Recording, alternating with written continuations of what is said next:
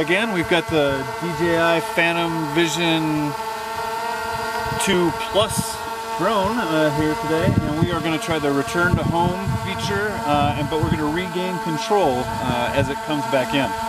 Um, I, it's been landing a little close to these weeds over here and so this time to make sure that uh, when it returns to home uh, we have a nice safe landing away from the weeds so I'll intercept it and uh, we'll see what happens here. I've got the the drone currently on and uh, we've got a slow blinking green which means our GPS is good.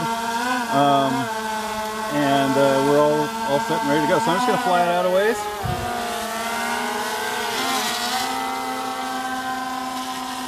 Bye drone. So there we are. Uh, we're just 144 feet away at uh, 37 feet. This time we should uh, see the drone uh, raise up uh, to around 60 feet um, as it returns to us. When, uh, the next step here is we turn off the controller, which is kind of a scary thing, but uh, if all goes well, our trusty little drone is going to figure things out for us. And that's uh, right, he's increasing altitude. He's up to 47 feet, 49, and up she goes at an altitude of 60 feet exactly. Now it is flying in a straight line over to us. I'm turning the controller back on here. And the S1 toggle switch, top right of your controller, allows you to take it back over by pushing it into the middle position and then back into the forward normal position.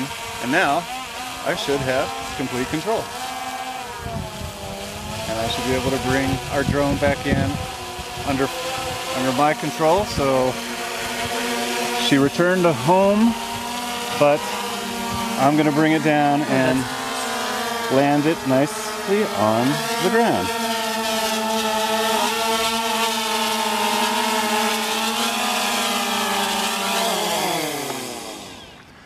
And that's the DJI Phantom Vision 2 Plus returning to home